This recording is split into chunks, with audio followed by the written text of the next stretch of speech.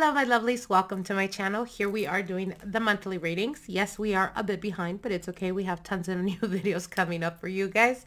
I also want to give you guys a quick update for those of you guys that like to shop on our online store.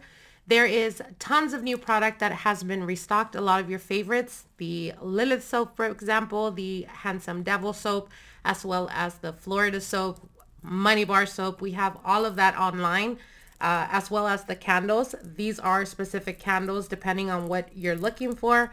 Uh, could be court case, could be relationships, partnerships, finances, money, etc. They are all prepared and done through ceremonial rites to empower and strengthen the candles itself, as well as a lot of your favorite oils. You'll be able to find all of that online, as well as um, you'll be able to put in orders for specific spell works. These are personalized spell works as well as consultations, readings, all of that you'll be able to find on our store.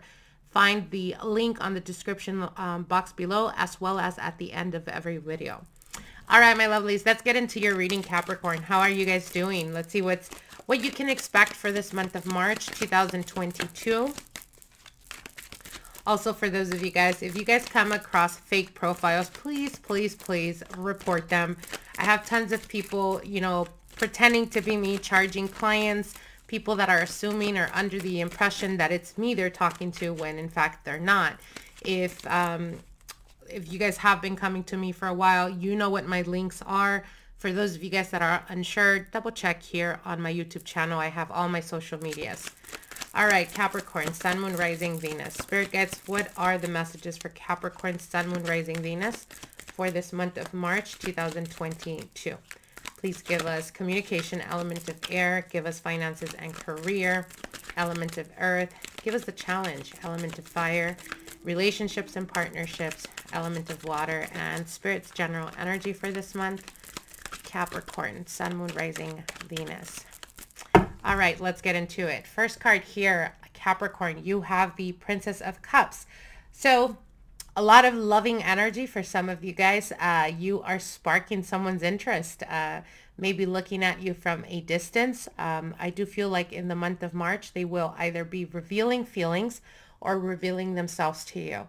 Uh, this could be for those of you guys that are single, but this can also be those of you guys that are currently dealing with other people. You may surprisingly find out that there is someone that is currently crushing on you, Capricorn. All right, when we're talking about communications, you have the Nine of Wands. So you've exhausted yourself trying to express or try to open up, trying to see or allow people to see your point of view.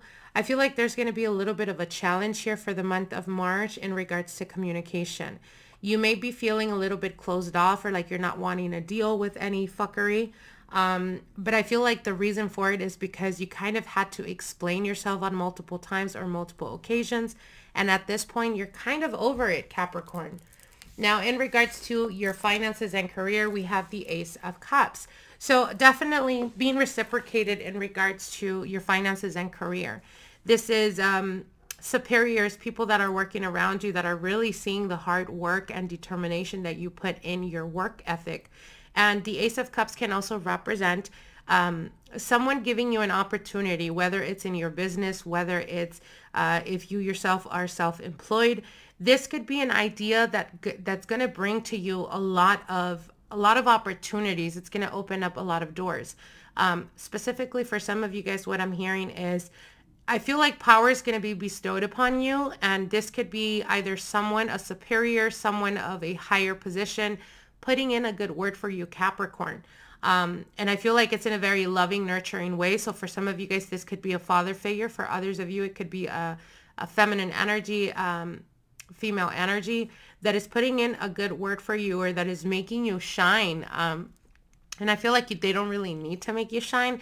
It has more to do with uh, them speaking about you that draws in superiors' attention to the work that you're doing.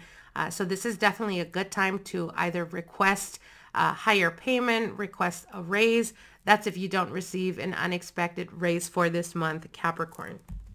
Now, when we're talking about the challenge here, we have the Lover's card. You may be dealing with a Gemini.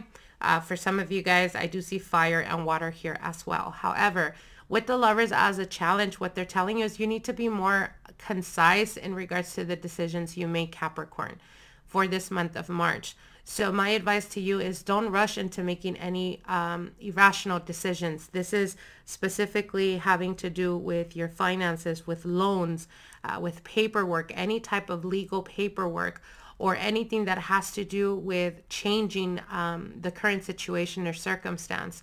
So what I mean by that for some of you guys, this could be as an example, if they're giving you the opportunity uh, to make more money in a different position, but it's going to take for you to relocate or it's going to take you to a different location, um, try to analyze everything from different perspectives.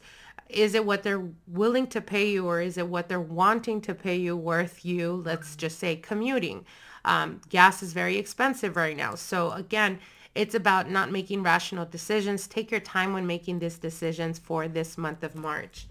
And when it comes to relationships, we have the Ace of Swords.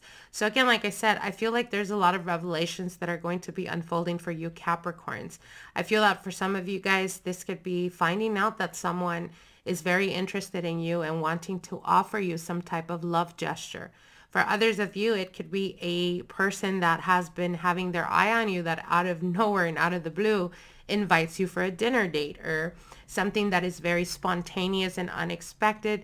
But I feel that that's their way of opening up or that's their way to uh, find the courage to open up to you and let you know that they are interested in you.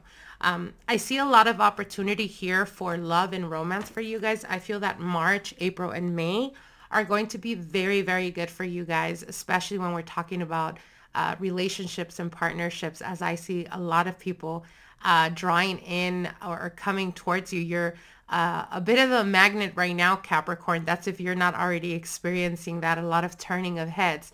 So my advice to you is take all those opportunities.